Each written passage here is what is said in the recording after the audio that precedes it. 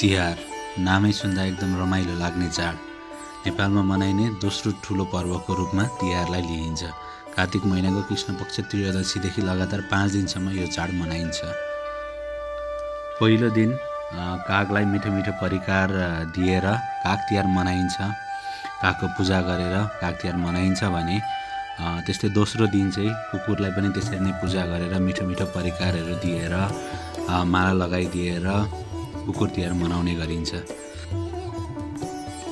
औँसीको अँध्यारो दिनमा घर घरमा माटो पाला तथा दियोमा तेल हाली बाती बालेर घर घरमा दीपावली गरेर घर सिँगारेर झिलिमिली पारी तथा फुलका मालाहरू लगाएर घर सिँगारेर दीपावली गर्ने गरिन्छ लक्ष्मी पूजा गर्ने गरिन्छ यो चाहिँ तिहारको तेस्रो दिनमा गर्ने गरिन्छ। सहर बजार सबैतिर झिलिमिली पारेर घर घरमा बत्ती बालेर चोक चोकमा बत्ती बालेर।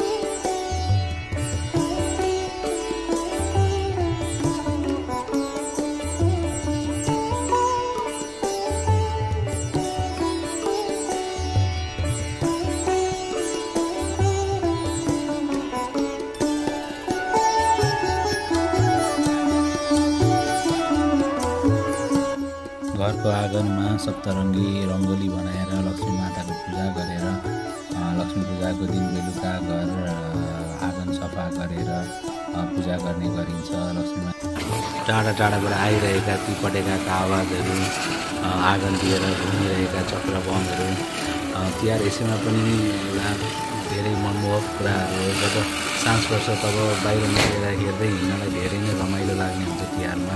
अरू बेलाको चाडभन्दा तिहार चाहिँ एकदमै स्पेसल चाडको रूपमा लाइटको चाडको रूपमा लिइन्छ।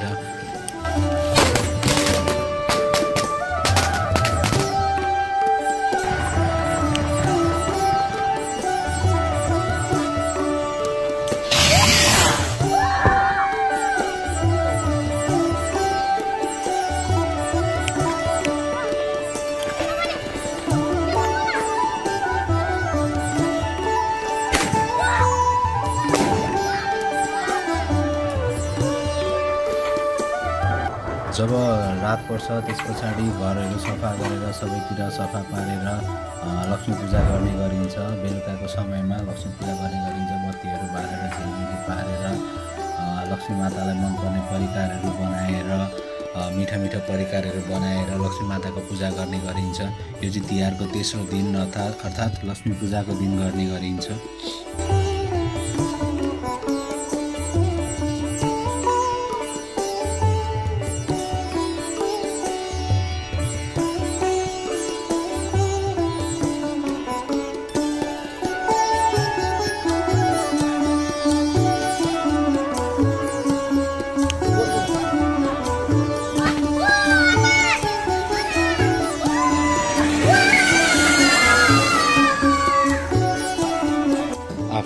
जात जाति आफ्नो वेशभूषा अनुसारको रमाइलो गरेर विभिन्न नाचहरू नाचेर पनि तिहार मनाउने गरिन्छ।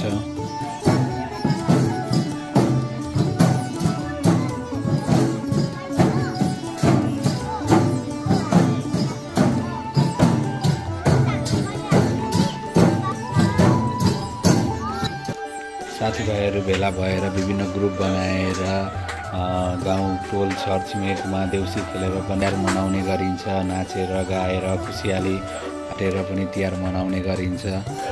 तिहार एक किसिमले मतलब धेरै नै राम्रो रमाइलो चाडको रूपमा लिइन्छ। सबैजना ग्रुप भएर भेला भएर देउसी खेल्ने गाउँघरमा घुम्ने ओर्ने तरिकाले पनि तिहारलाई एकदमै राम्रो रमाइलो चाडको रूपमा लिइन्छ। हे।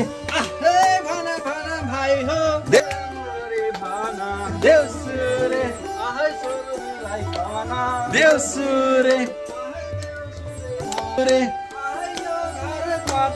देउसुरे देउसुरे देउसुरे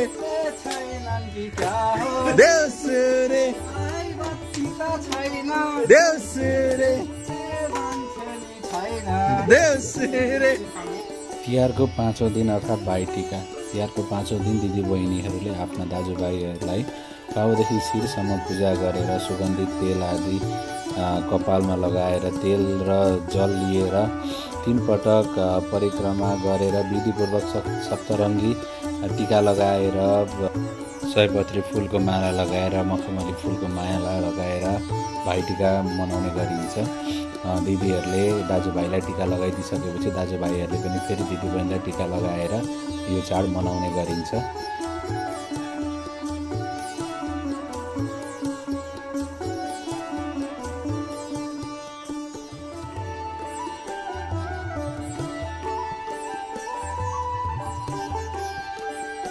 सधैँ आफूले बनाउने ब्लगहरू भन्दा नयाँ तरिकाले भिडियो बनाएर नयाँ प्रयास गरेको छु। तपाईँहरूलाई भिडियो कस्तो लाग्यो?